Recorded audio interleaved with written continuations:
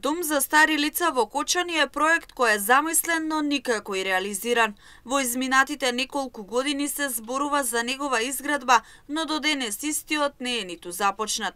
На терен ги прашавме кочанчани дали има потреба од ваков дом во градот.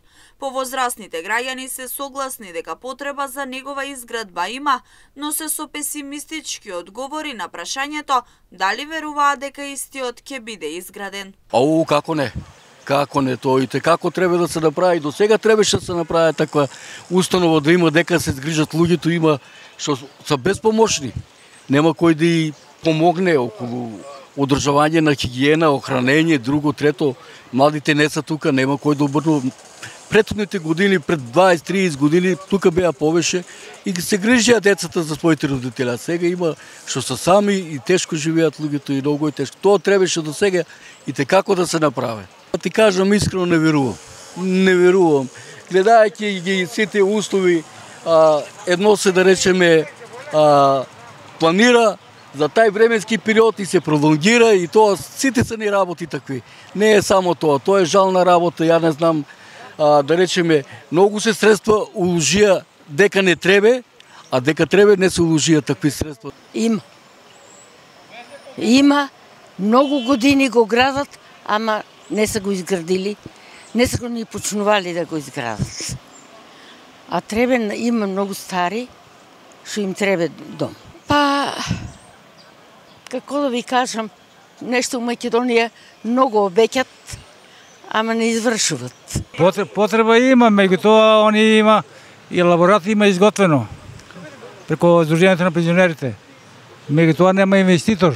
Па како што гледате, натаму идеме дали има потреба Сигурно, гледа се.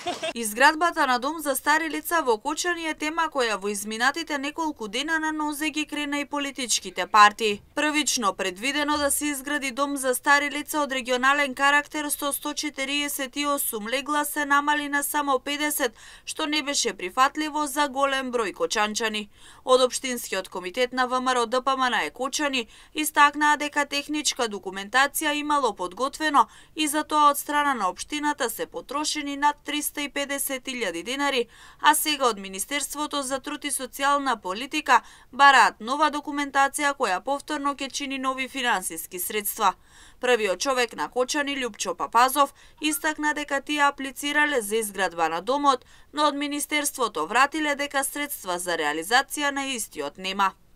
Согласно вашето последно известување во која укажувате на важноста и трајноста на овој објект, а истовремено сте согласни со моменталната тешка финансиска состојба во државата, но инсистирате на потребата од реализација на објект со предвидениот капацитет, согласно изработената документација, Министерството ве известува дека изградбата беше влезена во програмата за изградба, средства беа предвидени и реализирани, но во овој момент не можат да се искористат, стои во одговорот кој Обштина Кочани го добила од страна на Министерството за труд и социјална политика.